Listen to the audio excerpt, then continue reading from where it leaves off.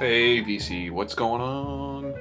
Um, it's Nate again on a late, well, it's about midnight on a Sunday night, and um, today was the big Atlanta, Georgia uh, record and CD show or tape show. Oh, there's all kinds of stuff, but uh, it was primarily vinyl, and I had a grand old time this morning after uh, getting out of work and sleeping maybe three and a half, four hours, I got up and drove an hour and a half, two hours north, and uh, went a rummaging. I primarily stayed in the bargain bin section, the uh, people who were selling stuff for oh uh, two bucks or a dollar, because um, I found some really good stuff, but I kind of strayed off when I saw something that was really good, and uh, I uh, I forked over the uh, the money to get those. So here goes in um, is sort of no, there's no particular order. Okay, um, here we go. George Carlin, a place for my stuff. Gonna love George. Oh, in the background here, this elevator music, which is actually quite enjoyable, is uh, Bob James and Earl Klugh one on one.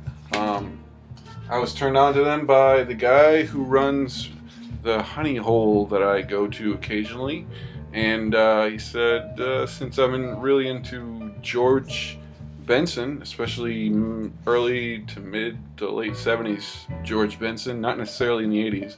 Uh, try listening to Earl Klugh. And uh, I kind of dig it. It's really, really relaxing. Very, very good to chill out to. Anyway, onward. Um, J. Geils Band is a promo. Oh, actually. And uh, Showtime. It is their third live record, the third live record I picked up. Um, of course, I've said it before, their live albums are beyond uh, anything they did in the studio. I mean, okay, Freeze Frame was a really good album, but uh, Peter Wolf's uh, energy is really shown on that one. That's kind of the weakest of the three, but the trifecta is complete. I have all three. Uh, classic Moody Blues, Days of Future Passed. Men at Work, Cargo, some fun 80s stuff right there. Old Colin Hay. Um, Harry Chapin, sequel. Um, another Harry Chapin record. On the Road to Kingdom Come. Um, these two covers are horrible shape, but um, I just wanted to get them because they're Joe Walsh, and I love Joe Walsh. Uh, James Gang Rides Again, and James Gang thirds. That's uh, both for a dollar, primarily because the covers were in shit condition. Um, Billy Joel, Glass Houses. Uh, I've, I've always liked Billy Joel. He's very. Ah. Uh, it's quite the American I, uh, icon, I suppose. Um, right on par with this guy who toured with Billy Joel some years ago. Elton John in the Friends soundtrack. Um, Gary Lewis and the Playboys. Uh, I love these guys. Um, I used to listen when I was growing up. I was probably 9, 10, or 11 years old. I listened to oldies. That's all I listened to, and they were a staple. Uh, John Mayall, The Turning Point. Uh, really, really good album um, from 1969. Bill Bill Graham's Fillmore, yeah, Fillmore East. Uh, Tubular Bells, Michael Oldfield, Scary. The Police, Zenyatta Mondatta. And two by this guy, Leon Redbone, From Branch to Branch. A great uh, jazz kind of uh, interpret interpreter, I guess. He takes old jazz stuff and plucks his guitar along with it, and this is uh, on the track. Um, course, he made his really a big living in the 80s off of uh, all de- uh, detergent commercials, and he uh, was on Saturday Night Live a lot. Todd Rundgren, um, brilliant Todd Rundgren. This is Hermit of the Mink Hollow. Um, Paul Simon, One Trick Pony. This is a great album too. There's some really good stuff on there. Uh, Steely Dan, uh, for a buck, you cannot go wrong buying a Steely Dan record. Um, no matter what shape the cover is. Um, but I, I listened to it earlier and it's the vinyl is fabulous condition. Fantastic. Stray Cats, Built for Speed. And uh, Supertramp, Crime of the Century. There's some good stuff on here. Dreamer and Bloody Well Right. Um, James Taylor, Mudslide Slim. And, uh, one of my favorite prog rock bands. I don't listen to a lot of prog rock, but it's uh, Yes, um, Close to the Edge. This is this is fantastic. It's phenomenal. I think, uh, and this is the shape that it's in is spectacular. Um, yeah, it's there's nothing wrong with it at all. Uh, and I got it for a buck. Uh, what the hell? Yeah, okay.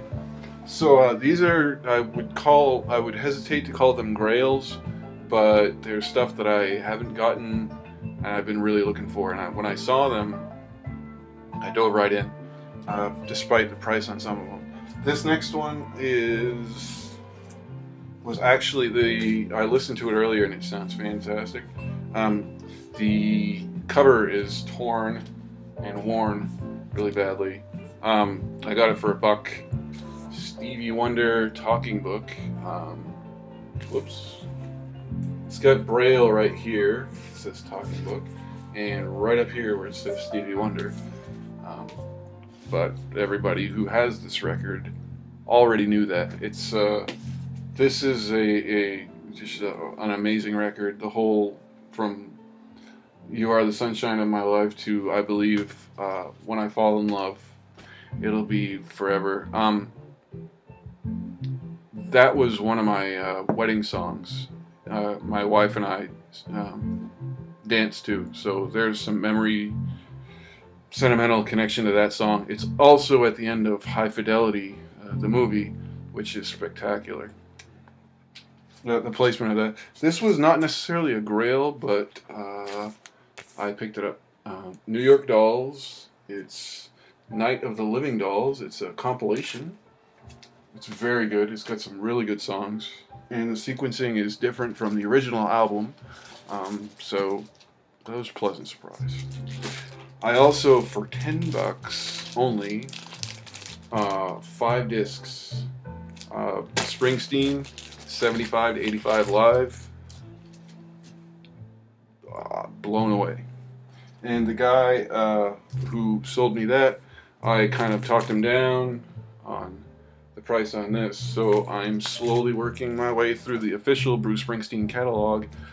I don't think I'll ever even dive into the bootlegs because he's one of the most um, bootlegged artists around. And uh, two more records. I'm going to keep this really just just under ten, uh, 10 minutes. Um, Jimi, uh, Electric Ladyland. And I didn't really notice, but the, the cover is in kind of bad condition, but the vinyl is uh, mint. It's, it's spectacular. And uh, first pressing of Crash Landing. Uh, they, these, there's four um, that were never, excuse me, put out uh, on CD or uh, after a certain time. It was discontinued. Uh, Crash Landing being one, uh, War Heroes, and um, I, I don't know. I'm having a brain cramp. I can't remember what the other two are. Um, but that was it. I had a great time. Um, didn't really spend.